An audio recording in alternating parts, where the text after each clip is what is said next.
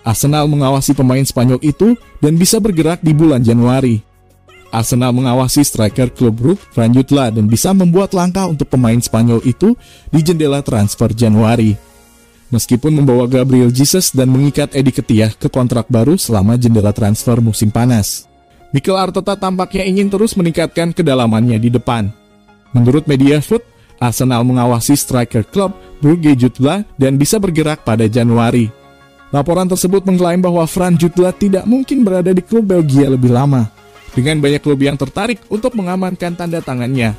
Sejauh musim ini Jutla telah berhasil mencetak 6 gol dalam 10 pertandingan Liga dengan 2 gol dalam 3 pertandingan di Eropa. Pemain berusia 23 tahun itu didatangkan ke klub Brugge dari Barcelona.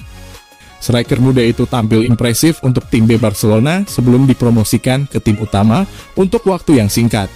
Sekarang, setelah hanya beberapa bulan di Liga Pro Belgia, Jutla sudah bisa keluar dari pintu.